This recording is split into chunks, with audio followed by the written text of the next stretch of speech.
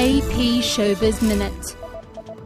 Police say 12 people are dead following a shooting at a suburban movie theatre in Denver.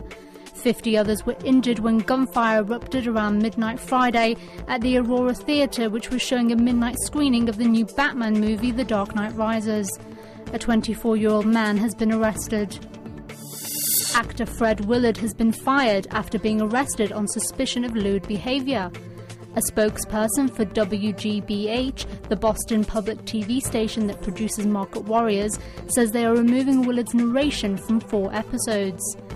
The 72 year old, who is best known as the dog show announcer in the movie Best in Show, was arrested by LA police Wednesday night after he was spotted committing a lewd act in an adult movie theatre.